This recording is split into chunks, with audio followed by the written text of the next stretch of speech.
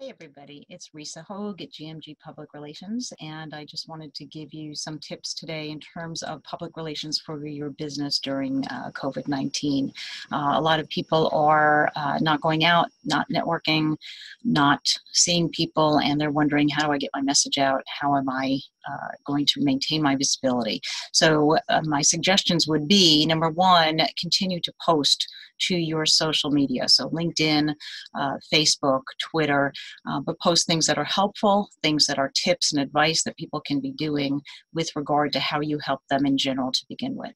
Uh, in terms of public relations, write a tip article. Take the tips that you have right now for people and helping them to work within their businesses and how you would normally help them and make a tip sheet. So, three to five tips that you can then send out as a press release and the media can use or pick up and write an article about or contact you for more information.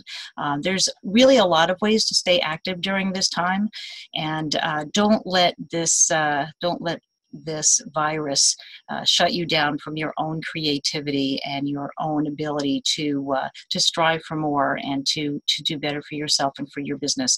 There will be an end to this, uh, and uh, now's the time to make yourself stronger, make your business stronger.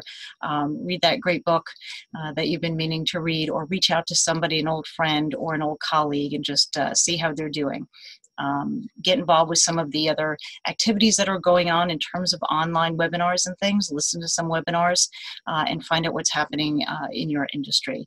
So I want to wish everybody uh, a good a good week this week. Um, stay positive. We will all come out of this together. We will have the opportunity to network in person again.